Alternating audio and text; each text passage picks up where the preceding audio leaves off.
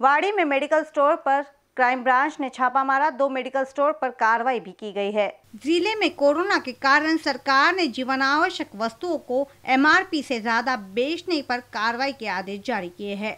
बावजूद वाड़ी में दुकानदार व मेडिकल स्टोर्स ज़्यादा दामों पर बेचने से शुक्रवार की दोपहर दो बजे करीब वाड़ी के दो मेडिकल स्टोर पर कार्रवाई करने की जानकारी क्राइम के पीआई मुख्तार दाऊद शेख ने दी है।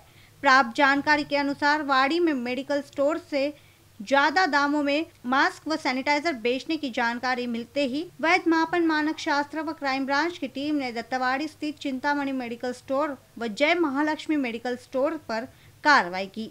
वाड़ी में जीवन आवश्यक वस्तुएँ मिलने की दुकानें खुली है। दुकानदार ग्राहकों से एमआरपी से ज़्यादा दामों पर वस्तुएँ बेच रहे हैं। मेडिकल स्टोर्स में भी ज़्यादा दामों पर मास्क, सैनिटाइजर बेचा जा रहा है। शुक्रवार को अचानक रेट पड़ने से वाड़ी के मेडिकल क्षेत्र में हड़कम मचा। दो मेडिकल से 25 मास्क बरामद किए गए। बाड़ी के नागरिकों से ज़्यादा दामों पर जीवन आवश्यक वस्तुओं को बेचने की जानकारी दे बेचने वाले दुकानदार पर कार्रवाई की चेतावनी दी गई। वैध मानक मापन निरीक्षक उमेश गौर, क्राइम पीआई मुख्तार दाऊद शेख ने दी।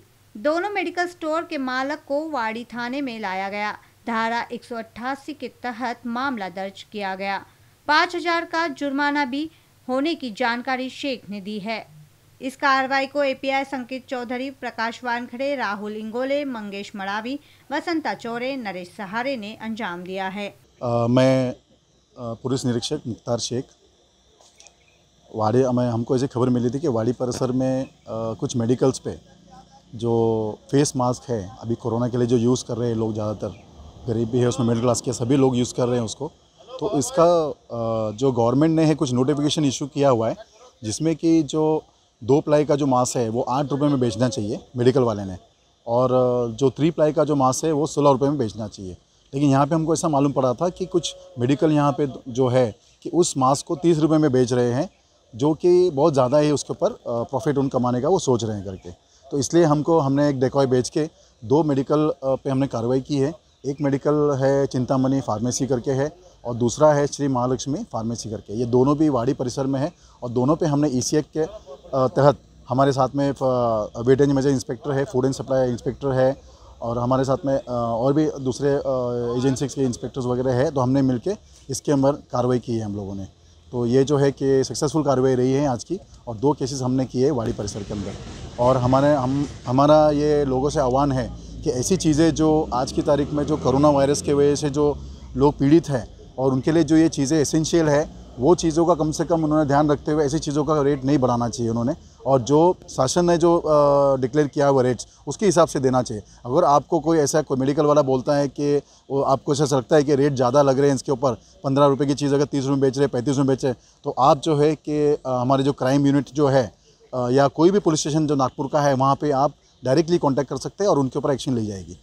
आज हम लोगों ने दत्तावाड़ी एरिया में मेडिकल शॉप की रेट की।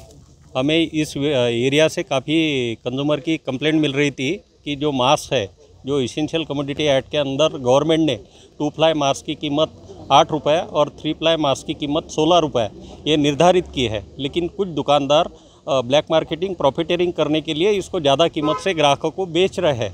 तो हमने ऐसी आज चेकिंग की है। हमारे साथ में और विभाग के भी काफ़ी अधिकारी थे। तो हमने दो मेडिकल शॉप में पाया कि ये सोलह रुपये वाला त्रिप्लाई मास्क तीस रुपये में ग्राहकों को बिक्री किया जा रहा था। तो हमने ये दोनों, एक महालक्ष्मी फार्मा और दूसरा चिंतामणि मेडिकल स्टोर जो कि दत्तवाड़ी में है, इनके दोनों के ऊपर हमारे वैध मापन शास्त्र कायदा 2009 और वस्तु नियम 2011 के अंतर्गत कार्रवाई की है और आगे की जाँच जारी है। इन बीसीएन न्यूज़ के लिए वाड़ी से सुनील शेट्टी के साथ अभिषेक पांसे की रिपोर्ट।